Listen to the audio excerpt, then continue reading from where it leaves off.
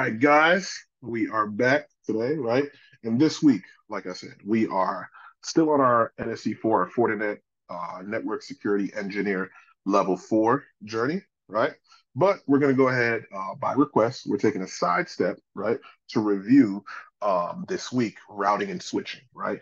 And how a path of a packet works at all the way from layer one all the way to layer three, right? And some of the upper layers, right? Uh, but of course, we need to go over the basics, right? Um, and for this, we're going to need a little bit of help um, from Cisco and, of course, their CCNA material. I believe, of course, they have great material that covers routing and switching, right? Um, and if you're looking to be, of course, a network security engineer, go ahead and absolutely take your CCNA prior to. Or if you don't, you know, if you're not good at tests, just go ahead and learn the material, read the book. It's a lot of good information um, that you can learn before you start, um, you know, operating and managing firewalls. Okay, so let's go ahead and get it rolling. Right. So this section, section one, is uh, is going to cover plainly switching. Right, switching operates right? It operates at layer two, right? If we're looking at the OSI model, right? We start from the bottom up, right? Layer one is physical, right? Layer two is the data link layer, okay? And of course, the device, right? The infrastructure device that operates at that level is a switch, okay? Right? Switches, of course, can do layer three functions, like they can do routing, right? But, right, for the, you know, for the purpose of learning, right, by default, a switch at layer two is responsible for switching frames between a broadcast domain. Okay. All right. And we'll talk more about it a little bit later. All right. So, again, this is still our NSE 4 journey, but again, we're taking a little break to learn about switching. All right. So, of course, you guys see the FortiGate. You guys see, of course, the inside of the FortiGate, but, right, we're going to talk about routers and switches. Okay. All right. So we're going to go over some of the fundamentals. I'm not, and this is just a disclaimer, I am not going to go in depth about every single technology. Um, if you have a question, feel free to stop me. But this is from a high level overview, a 5,000 foot view of so, some of the technology that you will need to be aware of, right? If you're going to be a network security engineer. Okay. Right. So this is spoiler, right? But we'll get into the meat and potatoes, all right? So as you can see in this picture, right? Top, we see a Cisco 1841. That is a router model, right? Some of the older models. Of course, then we see a 2950, right? 24 ports, right? That is a switch, right? And of course, under that, we see another router, right? So it's collecting, it's connecting, you know, routers between, of course, between the switches, right? And We've talked about broadcast domains and VLANs and what have you, so we're about to get into the fun stuff. Okay. So this is one of the core things that I preach to everybody that wants to be a network engineer. And I actually had to learn and remember so that I could fully understand um, what switching is. There are three major functions of a switch that operates at layer two. Okay. So Function number one, the switch is responsible for learning MAC addresses. Okay. How does it learn MAC addresses, right? It learns MAC addresses on frames, right? Because at layer two, they're not called packets, they're called frames. On learning frames received from host, right? And they record that MAC address in their MAC address table or MAC address database, whatever you want to call it. Okay. So that's one function. All right. So, second function, forward and filtering decisions, right? That switch is responsible for, of course, receiving that frame, right? Because it already learned that MAC address, it drilled it into the MAC address table, right? And it put right next to it, hey, I learned it off of this interface. Now it received the frame, right? So now it needs to make a decision. Hmm, where do I need to forward it? Okay. And if I need to forward it, if I just need to filter. Filter meaning discarding that um discarding that uh that frame. Okay. So it has a little job. It has to direct traffic a little bit. Okay. Last but not least, and probably one of the most important pieces is a switch is responsible for providing loop avoidance or loop prevention. That's another word for it, right? And how it does that, right, is by spanning tree protocol, right? If you have redundant links within a topology, span the switch is responsible for establishing a spanning tree to stop network loops while still per permitting redundancy within the layer two network. Okay. Fun stuff, right? We're going to go over all this high level. Okay. So just remember, I want you guys to remember these three functions. It will help you troubleshooting. It will also help you be an amazing network security engineer. Okay. All right. So this is how a typical network looks like, right? We have PCs, we have servers, we have printers connected to a switch, right? Because of course we need those multiple ports, right? There's not a lot of ports on the router, right? So we got those ports, right, that are connected to us, you know, all these hosts that are connected to a switch, and we got one port that's connected to the router, right? Our layer three boundary, right? Layer three device, right? Sits at layer three um, of the OSI model, and it's responsible for us to getting out, talking to the world, right? Talking to Google, going to YouTube, um, watching ASMR videos, right? Doing our taxes, etc. Right? Let's keep going. Right? And of course, there's different flavors of things that sit at layer two, right? It's not just switches, right? We have access points that sit at layer two, right? They can do layer three functions as well, but same as switches, but typically they sit at layer two, right? Here's another example of a typical small home, small office, home office, right? Soho. Here's another example of that. And you guys probably seen that or probably have this at home, right? So fun stuff. You guys seen this before, right? This diagram that you guys see, here's an example, right? Just a bigger example of what you guys at home, right? This is just a bigger example of what you would see within a enterprise, right? So a business, a company, or what have you that has probably a big building, multiple buildings, or a small building, what have you, right? This is how it would look like, right? You would have, of course, multiple floors. Each floor has a switch. Each switch plugs into a main switch, right? Um, they all connect each other, right? And of course, that main switch or that quote unquote root switch connects to that router, right? And that router gives everybody access to the outside world. Okay. And since I'm an old man, it's the World Wide Web, right? So this is how how a typical enterprise local area network would look like. Okay, simple enough, right? So let's go ahead and start getting to some, you know, some basics, right? So we've seen yesterday when we are talking about the path of a packet, we've talked about ARP, right? And typically what ARP does, right, is doing a broadcast, right? It's sending out a broadcast to the entire network, right? We talked about DHCP, right? A host, right, that wants a DHCP address is doing a broadcast to find out who, where is the DHCP service so I can get an IP address, right? Right? It's doing a broadcast, right? A broadcast message, right? And so what a broadcast is, right? It is a announcement to everyone that is on a network, a local area network, right? That's on a local area network, right? And hopefully somebody responds. That's the goal. I'm screaming out to everybody. Hopefully somebody or or some something responds. Okay. So at the, you know, if we're if we're doing a packet capture, if you look on how that frame looks at a layer two level, a broadcast address at layer two has a MAC address, destination MAC address value of all S. Okay.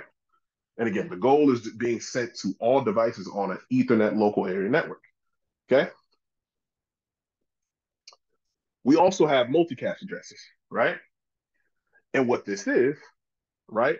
These are similar to a broadcast, but it's a little specific, right? It's sent, it's a broadcast, me- a broadcast message that is sent to a specific MAC address, right? For hosts that are part of a multicast group. Okay, they're going to receive the frames. They say, "Hey, I'm I'm part of this group, right? I'm part of this multicast group. Excellent. I'm going to receive frames, but it's not to everybody. It's just to people that are part of a multicast group. Okay, so we got our broadcast address, right? We got we understand what broadcast is, and we talked about what multicast is. Okay, let's keep going. Any questions so far? No, none for me. Okay, cool, cool, cool. All right, so right, let's talk about some of the terminology uh, as it deals with switching, and of course, MAC addresses and what have you. Right. So first thing, right, MAC address, right, media access control. Right, we're going real bare bones. Right, the IEEE standard is 802.3. Right. And of course, right, whenever we speak about Ethernet address, NIC address, LAN address, right, um, another term for it is MAC address, right?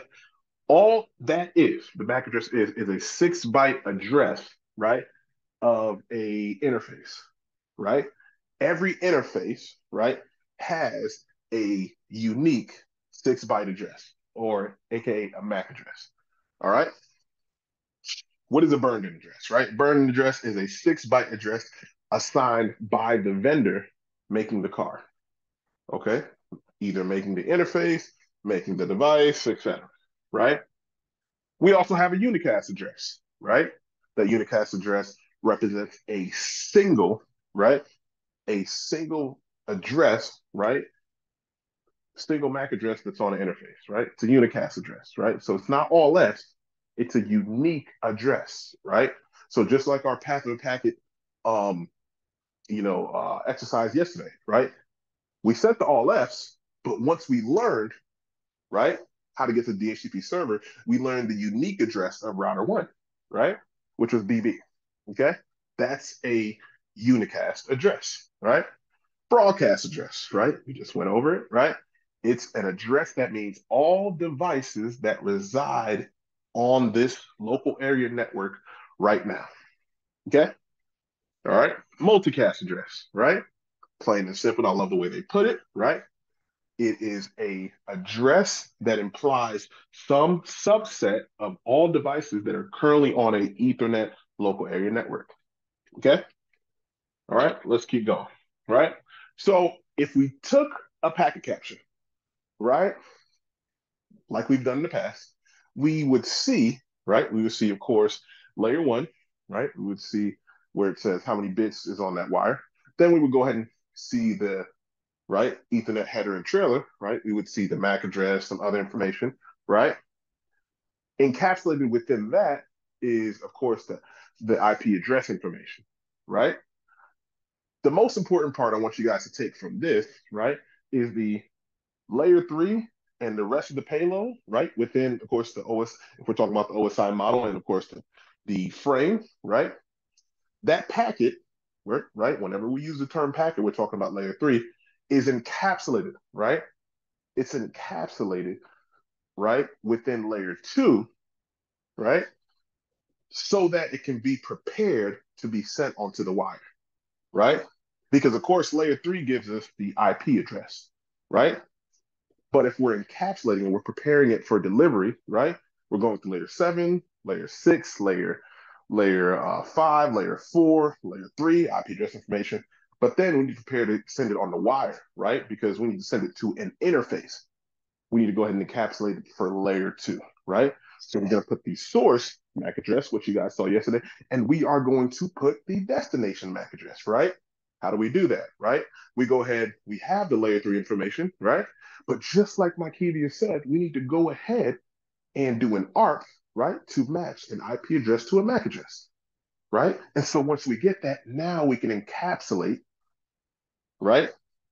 The actual packet, right? And turn it into a frame with having the source and now the destination MAC address because we know where to send it. All right. So we put that on there, right? We put the header and the trailer on there, and now it's ready to be uh, encapsulated one more time, right, into layer one so that it can be sent on the wire in ones and zeros. Okay. So that's how this looks, right? This is the importance of a header and trailer, right? Important stuff that you need to know. Because of course, if you're maybe troubleshooting something within the firewall, right? You'll do a packet capture. You need to know what that header and trailer looks like. Okay, you'll see some MAC addresses within some within some packets, right? Because you of course you're going to look at the packet capture from a layer three perspective, and you need to be able to dissect it. You're need, going to need to be able to get into that FortiGate CLI and say, hey, see the packet capture, but what MAC what interface does this MAC address belong to on the FortiGate?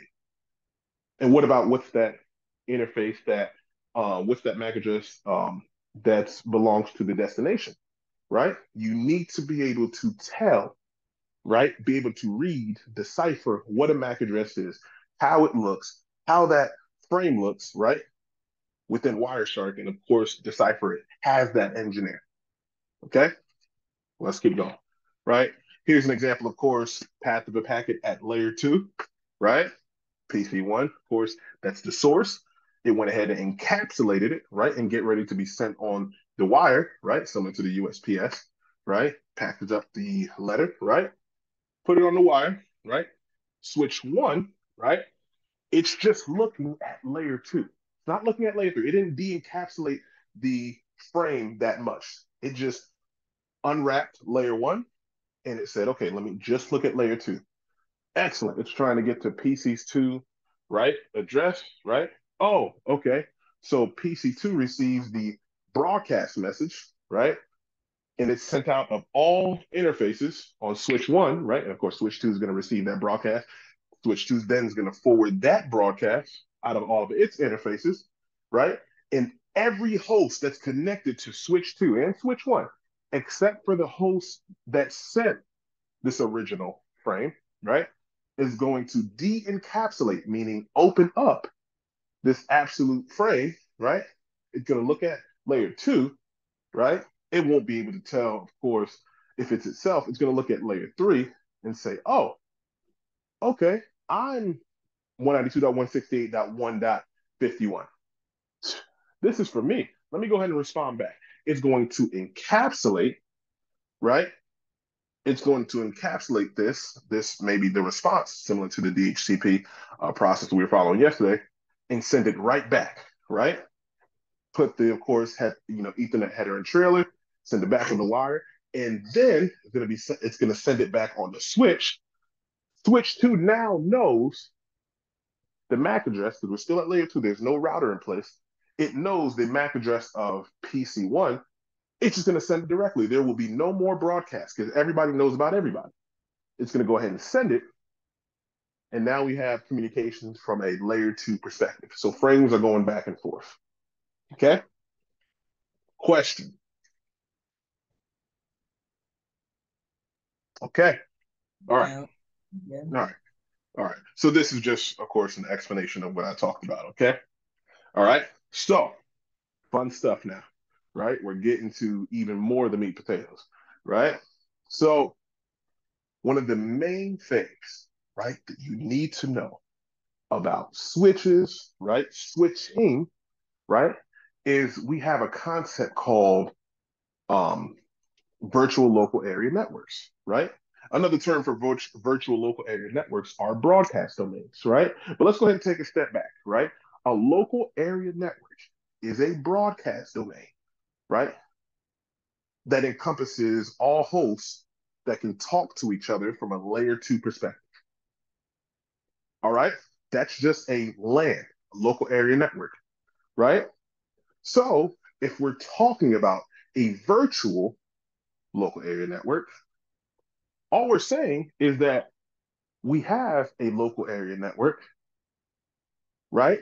But it's virtual, right? So it's created from a at a software level, right? On our switch. Okay. So if we have just a switch out of the box, right? No configuration, it's one broadcast domain, right? Everything plugged into it, they're all in the same broadcast domain, right? We didn't add any VLANs or anything, just same broadcast domain, same local area network. We implement, right, different VLANs. Now we are bringing in multiple broadcast domains.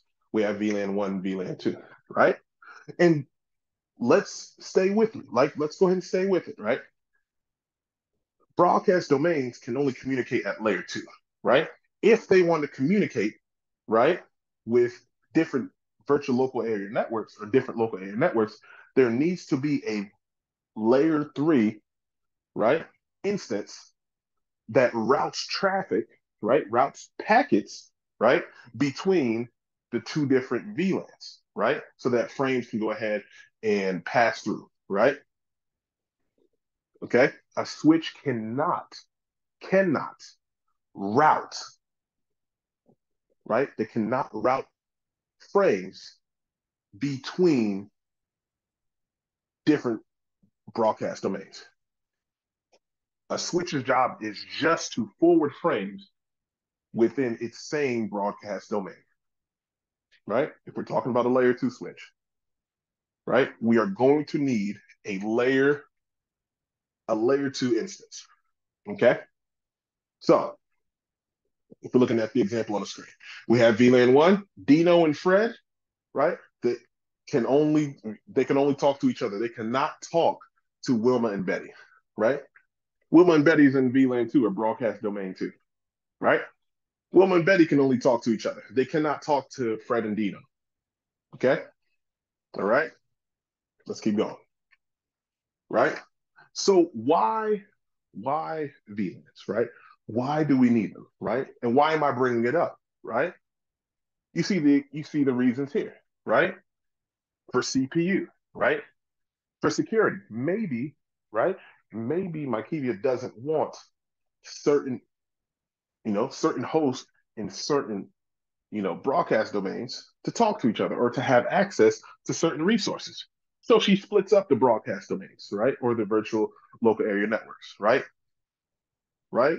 To go ahead and um to go ahead and split up. Hey, server VLAN is just for the servers. End user VLAN is just for the end users. Sales is just for sales. Engineering is just for engineering, right? Because I don't need everybody talking to everybody, and I'm going to mitigate the access that it has. Maybe I have a engineering server VLAN, right? Right. So you're gonna you want to go ahead and do that and make sure that you split up at a layer two level. Okay right? And also for security, right? Maybe you have a VLAN for guests, right? Guests don't need access to the entire network, right? They just need limited access. They need internet access. You can have a VLAN for that. So it helps with security. Okay. Right. It helps with designing your network, right? Maybe you group users by a department. You can go ahead and do that. Or by physical location. You can do that as well. Right. If issues arise, right? Specific to just one VLAN or broadcast domain. It can go ahead and just be isolated to just one virtual local area network. Imagine if we've had a thousand users all in the same VLAN. That's chaotic. And that would be a probably you probably resolve the issue, but it would take longer, right, to do that, right? Versus versus just having, right, having VLANs where you um where you split up end users, right, or host, right, by function, of course, by you, by department, et cetera, et cetera, right. Last but not least, right, with broadcast domains, right, splitting them up, right, splitting up VLANs, right, there's an instance, right, for spanning tree for each broadcast domain, right. If we had all switches, right? Let's say we have five buildings and we have a hundred switches, right? And we've had just one VLAN, right? For that entire VLAN, right? All these devices, every time there's a change, span tree has to do the algorithm again and again and again and again and again, right? Somebody plugs in, plugs out, we get messages being sent out. It is a lot of work. Versus if we go ahead, right, and we just split up per VLAN, right, per broadcast domain, by switch, by building, right? we are more granular, right, than just having one VLAN. We reduce the workload of each switch trying to pro- process uh, spanning, spanning tree frames that are sent between each other and reduce the usage of the CPU trying to process that algorithm. Okay. All right. So, right, we're getting close to the end, guys. Right. So, with this, right, with right? Virtual local area networks, right? And we've talked about having a multiple of them on, you know, on switches, right? What happens when we create a network, right? We have multiple VLANs, right? But maybe we have a switch in building one, we have a switch in building two, but we have the sales department in both buildings and we have the engineering department in both buildings, right? How can how can the sales department in VLAN 10, right, talk to the other people in the sales department um, off of switch 2, right? We can go ahead and use a method called trunking, right? And so what is trunking, right? Trunking, right, creates the ability to, for switches, right, to pass traffic of multiple VLANs through one pipe, right? Through one interface, right? However, so much, but through a physical medium, right? Because typically each interface is one broadcast domain. Stay with me. Is one broadcast domain.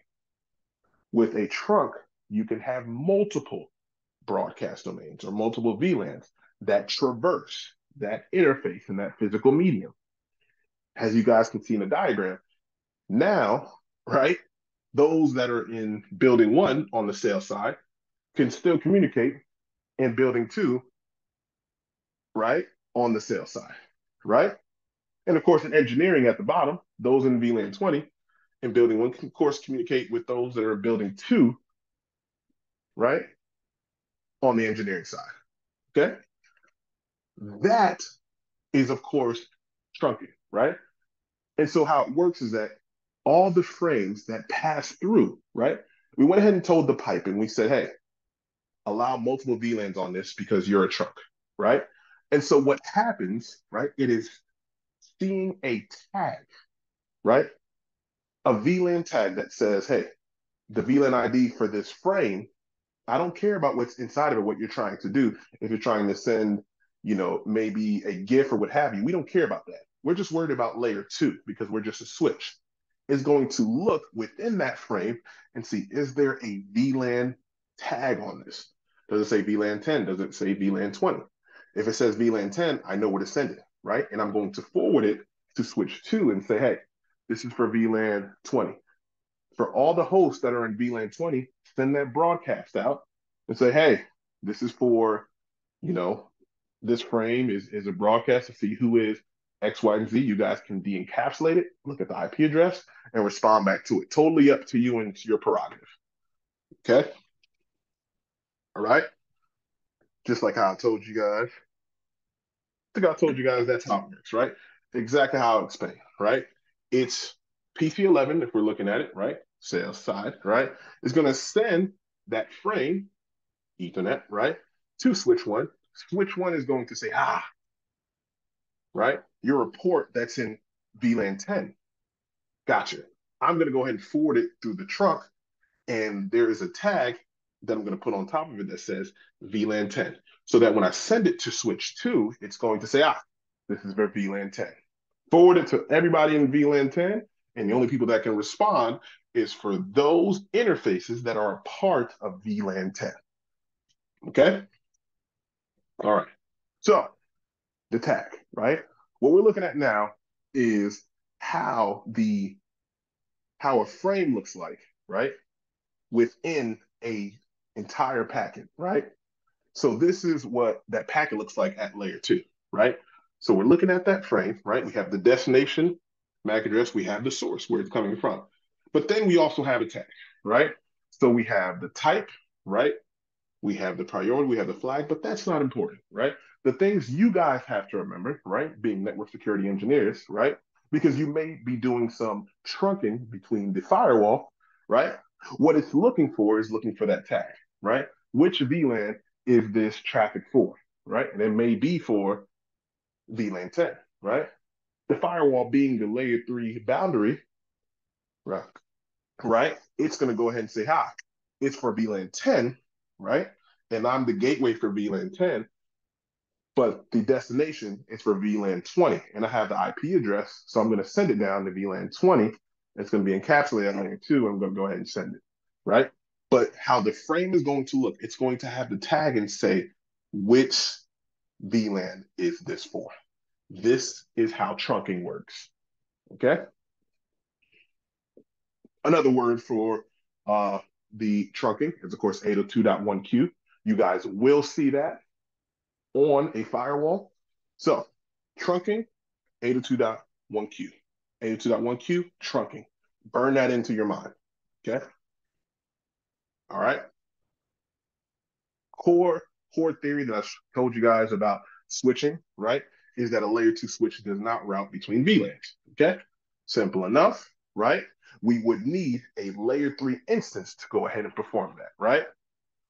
Right. And so Fred is trying to communicate with Wilma, right? It's Fred is going to go ahead, to go ahead and have to send it to the switch. The switch sends it to the router, right? The router is going to go ahead and say, ah, perfect. I'm going to go ahead and send it to Wilma for you, right? And Wilma's going to communicate back, right? All right. Okay. And of course, like you guys can see, the switch has interfaces, right, that connect to the router and puts those interfaces on the switch into the same VLAN has its respective uh, host within the VLAN, right? So interface fast zero slash zero on the router is connected, of course, to the switch, but that's in VLAN 10. Interface fast Ethernet zero slash one are, of course, are in VLAN 20 with Wilma embedded, right? IP addressing, they're still in the same broadcast domain, right? So maybe on the left, it's 192.168.1, right? Dot .0 slash 24. On the right, it's 172.16.1.0 slash 24, right? Layer three, they can communicate. Then we can just go ahead and encapsulate to layer two. All right? Right? And of course, that's switching, right? That's how VLANs work, right? So we spoke about the different functions. We I showed you guys the two first functions, okay? Right? Multiple VLAN instances can exist on the same switch right? You guys see the trunk, right? You see the multiple VLANs, of course, and we do some tagging. But let's talk about the last major function of that switch, right? Is loop avoidance, right? And how loop avoidance is done is by the spanning tree protocol, right? Right. And the goal is to have redundant links, right? Without a loop appearing, right? So what does spanning tree has to do, right? So we have this topology here, three switches, switch one, switch two, switch three. And without going into detail, right? Because we can go so down the rabbit hole with spanning tree. I'm going to keep it simple, right? We have redundant links, right? But we can't have all the switches talking to each other. Because the goal of spanning tree is to have one path in and one path out of the network, right? and of course, to each switch, right? So switch one ends up being the root, right? And as of course, root being the master switch within that topology, right? And what is the root? What is the root's role? What is the root's job, right? That is the entry and the exit point, okay, of the entire spanning tree layer two topology, okay? But then, right, with it being the root, all of its interfaces are available and it's forwarding traffic and it's sending out traffic. What about the other switches, right? That's providing this redundancy, right? Well, switch two and switch three, they need to go ahead and make a decision. They need to go ahead and say, I'm not the root, right? But what I'm going to do, right, for myself, first, I'm going to identify, you know, the quickest way to get to the root and assign a port and call it the root port so my switch knows how to go ahead and send it to that root, right? Because what does that root switch plug into? It plugs into that router, right? It plugs into that layer three boundary, right? To go and go out to the world, right? So we need to make sure we identify who the root is, right? So switch two does that and switch three does it. It identifies that root port. But hold on. We need to go ahead and talk about this redundant link between switch two and switch three. Right? We need to make an election. We need to say, hey, hey, so switch one can get to the both of us. We can get to each other, right? But if we don't shut something off, we're not going to have one-way traffic between the entire topology. So let's go ahead and do rock, paper, scissors, shoot, right? Let's do an election. Let's do, let's see who's better than the other, right? And so switch two is going to look at, you know, share some information, right? With switch three, switch is going to do the same thing. They're going to say, hmm, who's better, me or you, right? of course, for this example, switch two is going to go ahead and say, hey, I'm better than you. Darn it, I lost, right? So switch three is going to say, I'm going to go ahead and block this interface that's connected to you, right, on my switch, right? But you don't have to block your switch, right? Because if something happens, right, to the topology, I can go ahead and just re-enable this this port, and we have redundancy. Okay. All right. But for now, for it to be stable and of course to have one path throughout everywhere, right? We're going to go ahead and block this path and allow paths to the root, right? If switch tree wants to get to switch two, has to go through the root, has to go through switch one, right? Switch two wants to get to switch three, has to go through the root, switch one, right? If there's a failure, like we see here, that's in switch one, it's going to go ahead, do some calculations. The port, gigabit zero slash two, that was blocking, it's now going to go ahead and flip over, and redundancy is going to go ahead and be in effect. Now, we're still going to have a path to switch one, but now we're going to go through switch two, right? Switch one is still going to have a path to switch three, but now switch one is going to go through switch two, okay? This is, right, the last and third major function. And it's, it's not ordered. I just put it, I just say three, two, what have you, just for myself, right? But that is one of the last functions of a switch is spanning tree, loop prevention. Okay? All right. Last but not least, of course, we talked about encapsulation a lot, said encapsulation a lot tonight. This is how it looks, right? We got number one, we got our data, right? Of course, it's, it's encapsulated, right? Encapsulated with with some other information, right? Layer four, if we, this is just a TCP stack that's installed on your computers. We got the data, we got, of course, the method of delivery, right? In this case, TCP, it's not UDP. We encapsulate that because we're preparing to put it on the wire. We encapsulate that, right, within IP addressing, right? We need to put the source and the destination IP address. After that, when we go ahead and say, all right, we got that payload. We need to go ahead and go ahead and encapsulate it even further because we need to go ahead and get ready to put it on the wire, right? The wire doesn't know words, it just knows ones and zeros, right? But to do that, right, we need to put the interface address, right? Addresses in ones and zeros. We're going to go ahead and encapsulate that layer two, have that header and trailer. You see data link is both at the beginning and the end of that payload. Then we have that, boom. We can go ahead and send it on the wire, AKA the physical layer. It's when it go ahead and being sent for encapsulation, then it's de-encapsulated, okay? All right, key thing here, right? I told you guys there's different terms, right, for the quote unquote for the data, right, at different layers, right? Layer four, it is a segment. Layer three, it is a packet. Layer two, it is a frame. Okay. So you guys being network security engineers, you have to make sure you know the difference. Okay. All right. All right. And that's it. Any questions? Um, I do have one question. I'm not sure if it's it's I think it's kind of related. So mm, so if I have um a VLAN that's configured, say VLAN 100 that's configured on the firewall, I mean on the on the switch, and I configure the VLAN also on the firewall, what will make traffic drop when I configure the VLAN on firewall. I don't know if that makes sense. Like no, it does. It, it does. So so walk me through your topology again. So we have a switch that's connected to a firewall, right? Right. Your your firewall being your layer three instance, correct? Yes.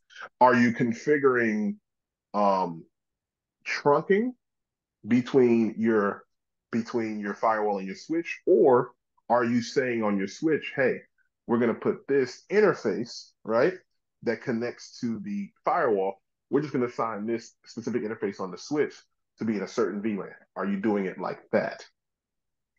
If I remember the call right, it was configuring the VLAN on the switch. Okay. And and so we're not configuring the VLAN on the firewall. Well, how is it supposed to traffic? Like, okay, now I'm confused here. My okay. only was confusing. Okay. Okay. Um, no, no problem. Let's let's hold on. Let's go ahead and end this video. I got you. This is good. Sorry. Go ahead.